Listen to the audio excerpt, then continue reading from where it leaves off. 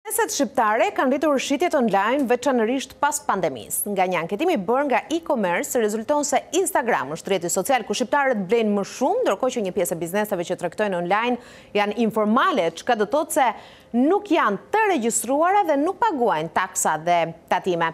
Për më shumë flasim me producenten ekzekutive për biznesin në A2 cnn Aurora Sulçe. Aurora çfarë ndodh, po blejmë më shumë nga Instagrami? Në fakt Denisa është e pritshme. Veçanërisht pas periudhës së pandemisë ka ndryshuar tërësisht qasja konsumatore dhe mënyra se si bizneset bëjnë biznes.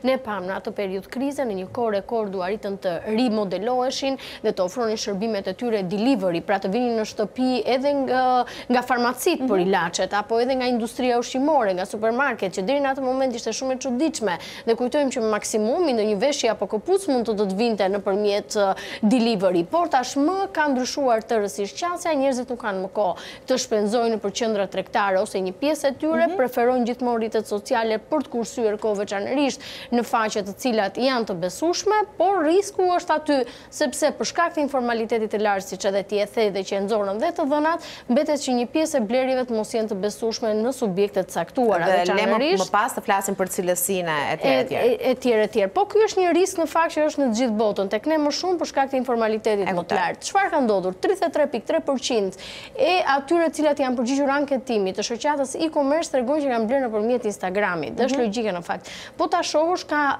specifika secila nga rrjetet sociale, si përket audiencës ashtu edhe qëllimit të tij. Mhm. Instagrami ka kryesisht moshën 18 deri në 40 vjet që ka foto dhe është kjo fashë e cila është edhe konsumatorja më e madhe, pra janë ata të cilët shpenzojnë më shumë.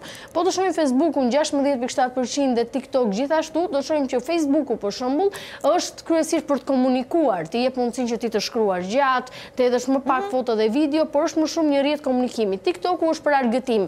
Instagrami është aktualisht për të bërë biznes, dhe kjo ka rezultuar. Dakord. Ndërkohë gjenden edhe alternativa të tjera, megjithatë atraksioni më i madh është nga Instagrami, Facebooku, videot. Nënkupton webet kryesisht për bizneset serioze, tek ato të tjera përfshihen kryesisht websajtet e kompanive të cilat shesin produkte të caktuara, presupozohet që ato kanë mbyllur komplet strategjinë e tyre të marketingut dhe nëpërmjet websajtit, por kryesisht Instagrami për shkak të target grupit të audiencës, por njëkohësisht ata që janë dhe konsumatorët më të mëdhenj. Dakor, dhe kush qëndron pas këtyre kompanive janë persona fizikë, është një person që mund ta ketë ndërtuar këtë faqe duke shitur nga shtëpia, automatikisht informaliteti, nuk ka një NIPT etj etj, zhvendosemi Edhe tek grafiku i dytë. Edhe kjo në fakt janë të dhëna të cilat vijnë nga anketimi i mhm. e-commerce dhe janë interesante sepse të tregojnë pak a shumë atë që ndodh. Ndoshta nuk janë të sakta 100%, po. por tregojnë një trend të përgjithshëm mhm. të asaj që ndodh.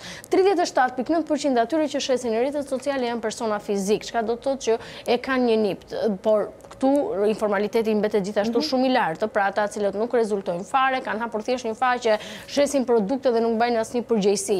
Nga ana tjetër, vetëm 34.5% janë SHPK, çka do të thotë që janë biznese të cilat janë më të konsoliduara, mhm. më të zhvilluara, pra më të rritura, se sa thjesht ata të cilët është një person nga shtëpia që shet, janë SHA-të më pak dhe asnjëra prej tyre 20.7%. Çfarë tregon kjo? Tregon që për shumë për shumë persona është kthyer në një punësim, po. pra që gjenerojnë të ardhura nëpërmjet shitjes në në rrjetet sociale.